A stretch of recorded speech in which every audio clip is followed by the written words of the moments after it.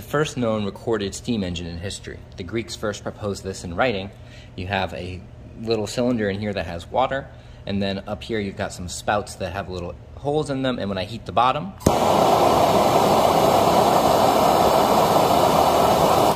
steam starts to build in the chamber, which is released out of the vents, and you get rotational motion. It's pretty darn cool.